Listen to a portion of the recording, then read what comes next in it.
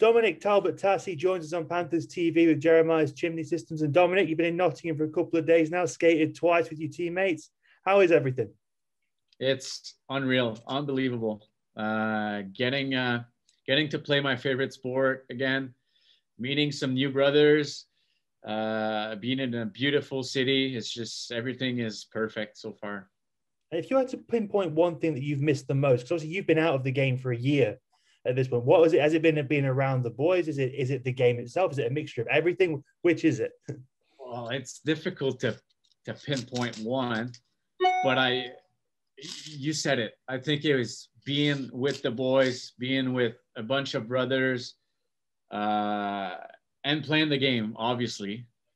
But I, I think it's like the atmosphere and like having each other's back, and I, I can't wait to play games with these guys. And as we were talking about a few minutes ago, this this whole tournament came around very quickly. Can you just take us inside what your conversations with director of hockey Guy Doucette were that led to you signing up for this tournament? Well, Deuce called me. He's like, uh, "Hey, Dom, uh, have you heard about this uh, tournament?" To be quite honest, no. He's like, uh, "Are you inter- interested in playing hockey?" Well, obviously. Are you ready? Uh, not so much, but I can compete and I'll show up at every at every game. That's for sure. He said, "Okay, well, uh, I'll get back to you."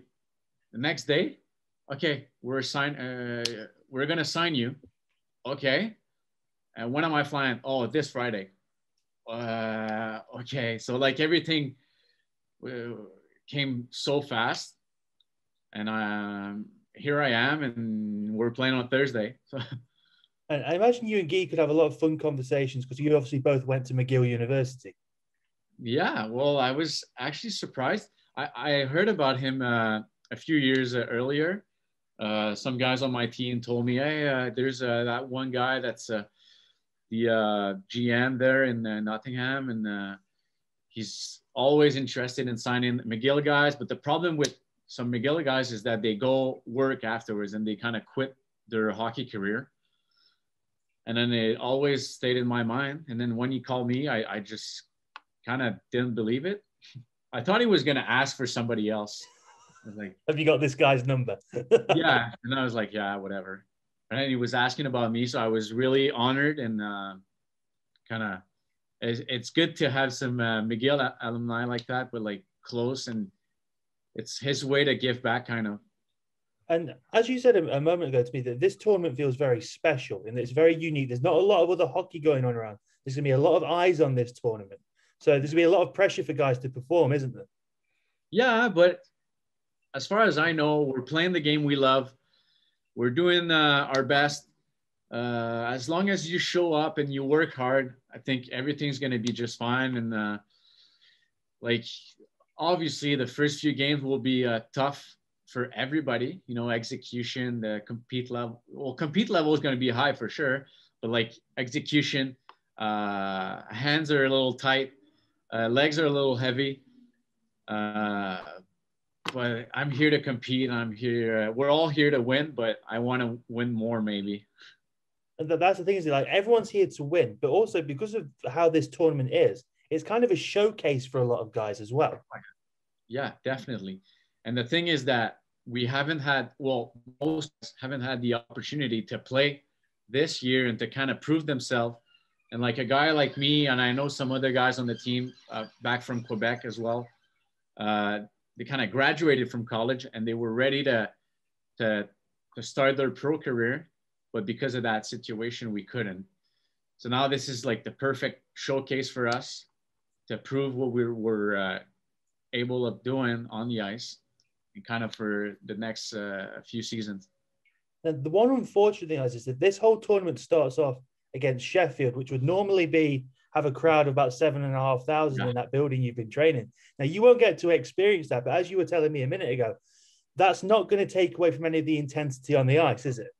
Oh no, absolutely not. There's only there's one goal in sports, and it's the win. So no matter what, fans or no fans, we to be honest, we know that we have the support from the fans, even though they're not at the arena. So that's huge. But we don't need that much motivation when when it comes to sport. the only motivation we we need is we want to win, and that's all that matters. And like you said, they're not in the stands, but you can feel that support on the likes of social media and things, can't you? Oh yeah, nowadays with social media, it feels like they're right on a behind our back, and they're they're they're they're kind of supporting us and like they're watching us. We know that, and it it uh, it means a lot actually. And yeah, so they I know they also want to be in there, uh, but we know that that everyone everybody is supporting us, and that's uh, that, that that's huge for us. And it's obviously been a bit of a, a crazy a crazy year to say the least. Does getting back to the ring, getting back to hockey, does it is it is it starting to feel a bit more normal for you at the moment, apart from being obviously being stuck in a hotel room? yeah, it's not far from normal. Uh, the only thing is that like we need to be careful with everything. Like wash your hands, wear a mask. Uh, you can't be uh, two guys at the same time, and it's just like all sort of rules. But when you get on the ice, there are no rules. Well, some rules, but like you know what I mean. Like it, not like, like we're we're used to those rules on ice, so that's that's fine as long as we play hockey. And you've had two sessions under head coach Tim Wallace who is yeah. he, he's a I always call him a hockey nerd. He loves his little details and all his plays and his. How have you found working with him so far? I actually love it. Uh, like I've had, I was lucky enough that every single of my coaches were were unreal and were unbelievable, and he's one of them already. And uh, like in, so I've practiced with him for for only uh, two days, and he's already came up to me and like giving me some advice and uh, yeah, yeah, he's a professional. Uh, he's super cool.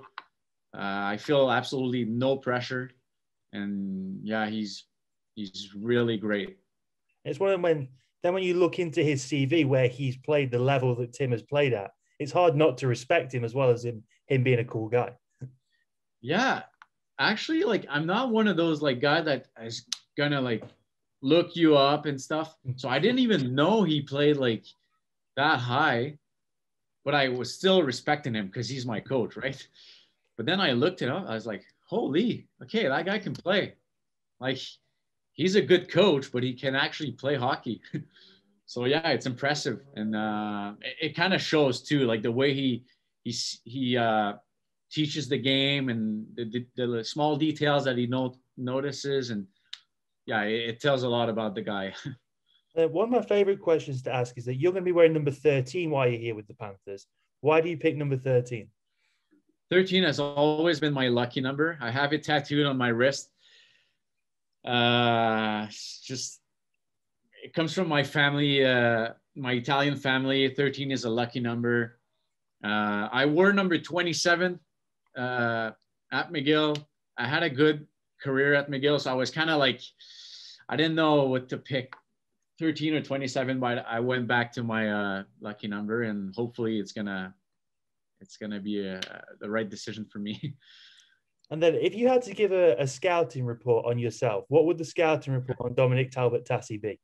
Well, that's tough. I like to give scouting report on other players, but kind of about myself, I think I'm a good skater.